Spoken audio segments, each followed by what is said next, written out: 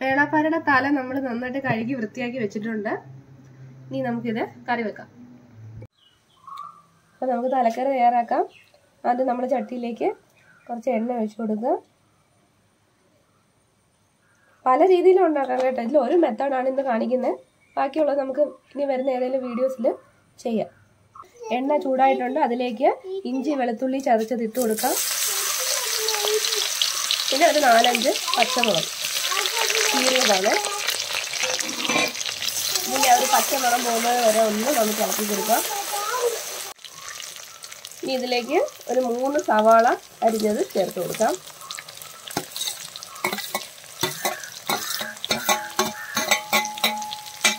ഇനി ഇത് നന്നായിട്ടൊന്ന് വഴറ്റിയെടുക്കാം. ഇതിലേക്ക് കുറച്ച് ഉപ്പും കൂടി ചേർത്ത് കൊടുക്കാം. സവാളയൊക്കെ പെട്ടെന്ന് നന്നായിട്ട് വഴന്ന് വരും.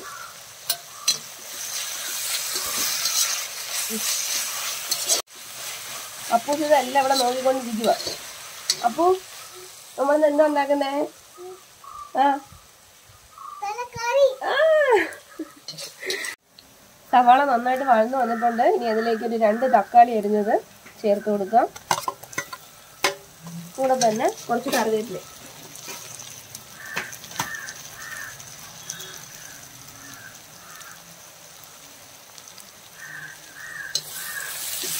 ഈ തക്കാളി നന്നായിട്ടൊന്ന് ഉടഞ്ഞു വരുന്നത് വരെ നന്നായിട്ട് വഴറ്റിയെടുക്കണം. നമ്മുടെ സവാളയും തക്കാളിയൊക്കെ നന്നായിട്ട് വഴന്നു വന്നിട്ടുണ്ട് എണ്ണയൊക്കെ തെളിഞ്ഞിട്ടുണ്ട് ഇനി അതിലേക്ക് നമുക്ക് പൊടികൾ ചേർക്കാം. ആദ്യം മല്ലിപ്പൊടി. ഏകദേശം ഒരു ഒരു സ്പൂൺ മല്ലിപ്പൊടി. പിന്നെ മുളക് പൊടി. അത് നമ്മുടെ എരിവിനനുസരിച്ച് എത്ര വേണമെങ്കിലും ഇട്ട് കൊടുക്കാം. ഞാനൊരു മൂന്ന് സ്പൂൺ ഇടുന്നുണ്ട്. ഇനി കുറച്ച് മഞ്ഞൾപ്പൊടി. പിന്നെ കുരുമുളക് പൊടി.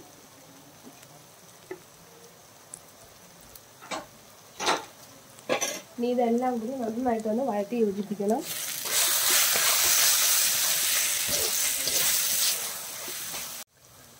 പൊടികളുടെ പച്ചമണമൊക്കെ മാറി നന്നായിട്ട് വഴണ്ട് വന്നിട്ടുണ്ട്.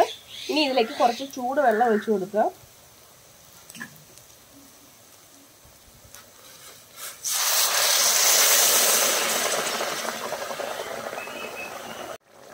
വെള്ളം കുറച്ച് കൂടുതൽ ഒഴിച്ചു കൊടുക്കണം. ആ വെള്ളത്തിൽ കിടന്നാണ് നമ്മുടെ തല നന്നായിട്ട് വേദ എന്ത് കിട്ടേണ്ടത്?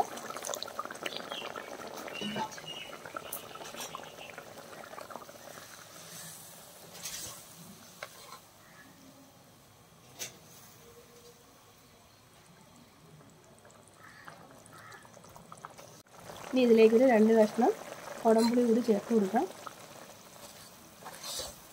ആവശ്യത്തിനുള്ള ഉപ്പ് ചേർത്ത് കൊടുക്കുക. നമ്മൾ സവാള വഴറ്റിയപ്പം കുറച്ച് ഉപ്പിട്ട് കൊടുത്തായിരുന്നു. അത് നോക്കിയിട്ട് ഉപ്പിട്ട് കൊടുക്കുക.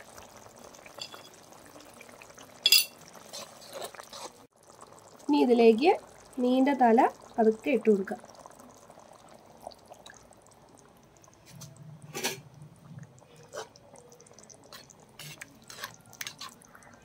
ഇനി ഇതൊരു ചെറിയ തീയിൽ അടച്ചു വെച്ച് നന്നായിട്ട് വേവിച്ചെടുക്കാം. തീ കൂട്ടി കൊടുക്കരുത്. ചെറിയ തീ കിടന്നാണ് നന്നായിട്ട് ഇത് വെന്ത് കിട്ടേണ്ടത്. ഇനി നമുക്കിത് അടച്ചു വെച്ച് കുക്ക് ചെയ്യാം. ഇടയ്ക്ക് ഇതൊന്ന് തുറന്നു നോക്കണം.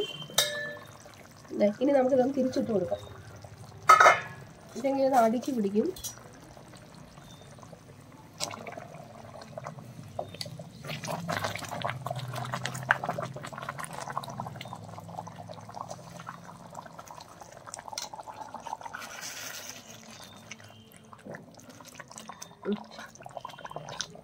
ഇനി നന്നായിട്ട് അടച്ചു വെച്ച് ഈ സൈഡും കൂടി ഒന്ന് കുക്ക് ചെയ്തെടുക്കാം.